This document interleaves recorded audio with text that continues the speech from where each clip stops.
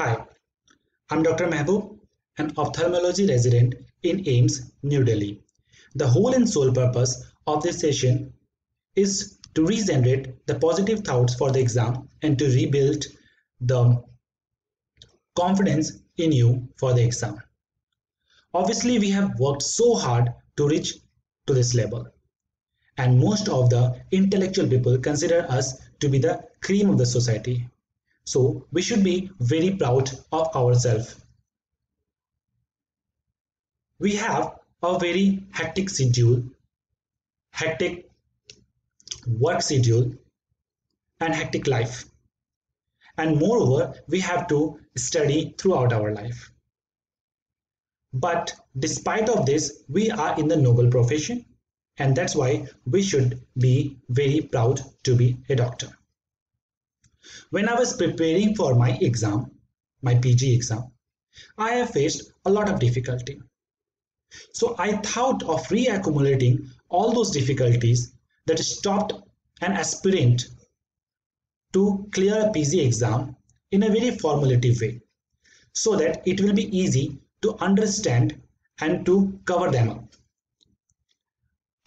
So the first question that is, what stopped you to clear a PG exam? I have divided into it into the two parts, 70% and 30%. 70% of the part is incompleteness of the subject and the lack of revision. I have subdivided this incompletion of subjects into four topics. One is content. If you don't know the content, if you don't know the content or the topic of the subjects very well, how can you make MCQs related to that topic? That is very important. I'm not asking you to cover all the topics of all the subjects. I just mean to say when you set for completing one topic during your preparation and after completion of that topic you should be able to make 90% of the MCQs or most of the MCQs related to the to that topic. Of course 100% of the MCQ, MCQs cannot be solved because some of them are very hard, very tough. But you should be able to make the basics of the MCQs very clearly.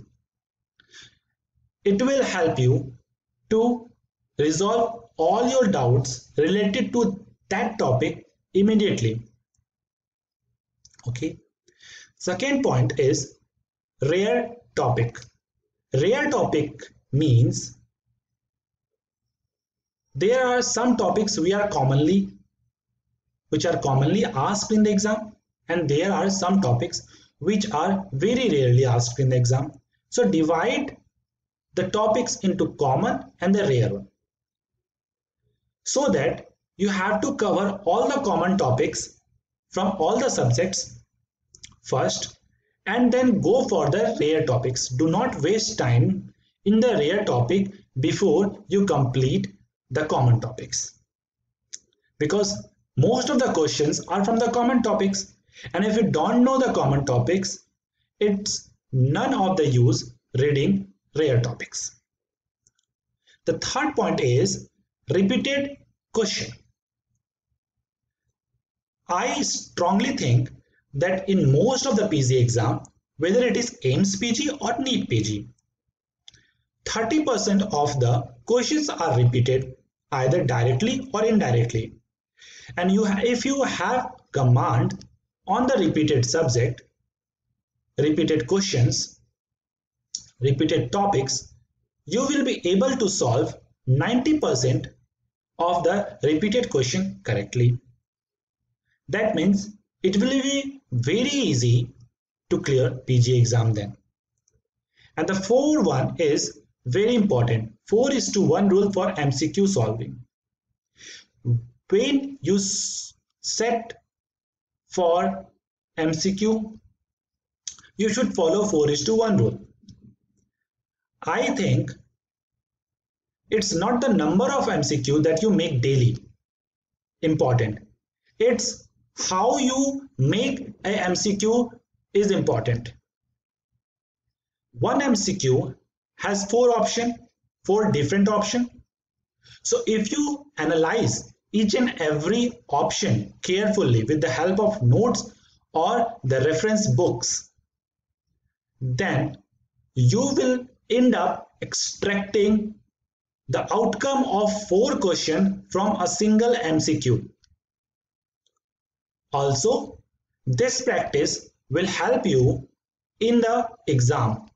When you don't know the answer of one MCQ, you will be able to analyze each and every option and you will be able to rule out the options to reach the answer. And in this process, you will end up with increasing possibility of getting your answer right.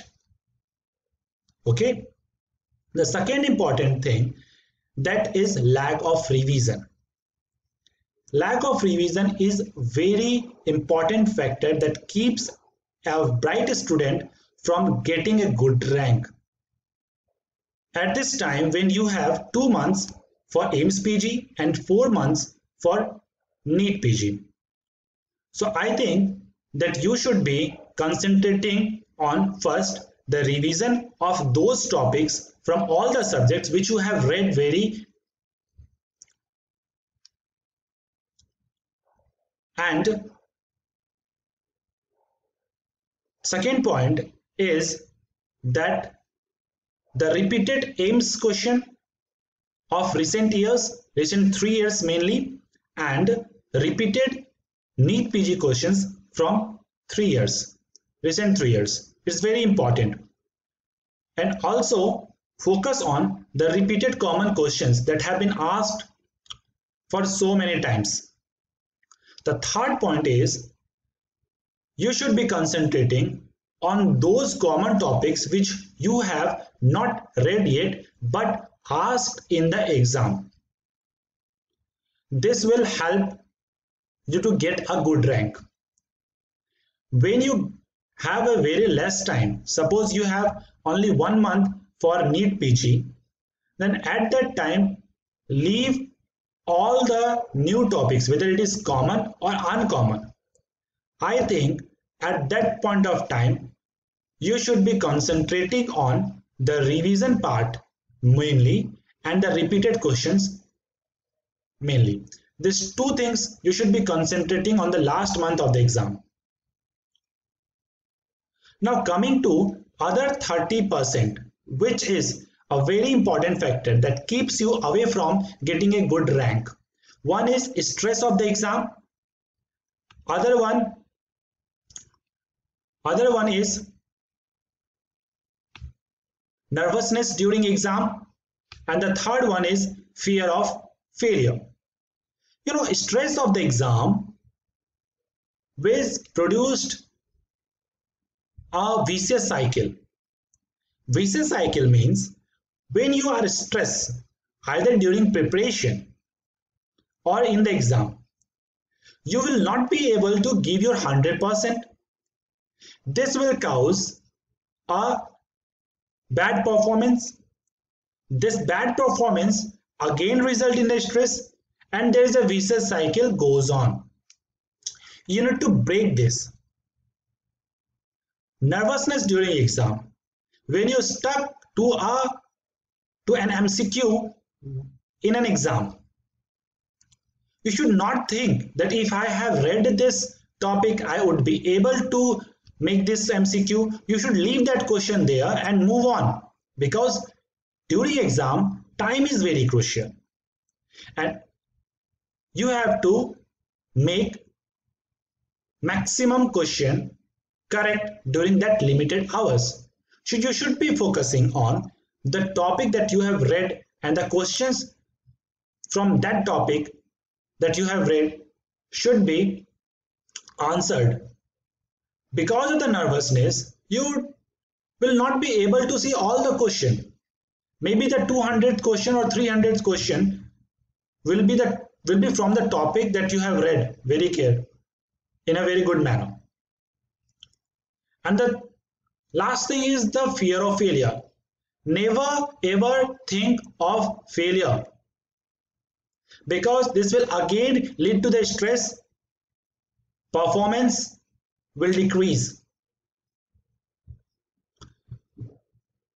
Now the next question is how to cope up. I'm showing you a picture where shadow is much more greater than a man. That means that your strength is much more than what you think. So analysis of your strength and weakness is very important. Whether it is in subject you should analyze which subject is your strength and you should revise that. And which subject you is your weak you should focus on that subject also. Never leave your strength. Never leave never uh, leave your subject that you are good in. But you should also look for the weak subjects too. Positive thinking is very important. It will make the things happen. That does positive thinking doesn't mean that you will always get a good result. It just means you will have to be in a stress-free mood in a good mood every time. If you are getting a very bad rank also you have to be positive that you can go through and i'm sure it will happen Take your exam very seriously. Do not get nervous during exam as it is your enemy. And then I'm sure you will give your best. Whatever you have read, you will give your best. 50% of the overall subject you have read, you will be able to give your best. Enjoy the exam because enjoying exam will help you to make MCQs in a very good manner. How? Because if you enjoy the exam, you will be stress free. Never think what will happen, what will be the result. Never fear of that. It will cause negativity, reduce your performance. Believe in yourself. Always say, I believe in myself. And then you are halfway through the PG exam. Believe your, in yourself is a very important thing. Never think of after exam. I know some of you are not working because of preparation. There must be a financial issue and you want to earn after this exam. But believe me if you keep on thinking what will happen if you don't get a good rank it will only harm you. So focus only on the exam and give your best. Try to give your best and whatever will be happen will happen for the best. Remember this. Stretch yourself beyond your limit. Means always stretch yourself. Try to increase your strength. Try to increase your uh, learning hours. These are the AIIMS pg you can come here. You can come anywhere. You can go anywhere. You are the cream of the society and believe in yourself is very important yes you can achieve. If you want me to make more videos more sessions on how to revise what are the common topics what are the common subjects and what are the common MCQs that have been asked. Since I am, I am, I am an ophthalmology resident you can ask me any questions regarding ophthalmology. Okay. And uh, please uh, write comments on that so that I will be able to know what you are expecting from me. I'm trying to help you and I have been I will be there for you anytime thanks for watching the video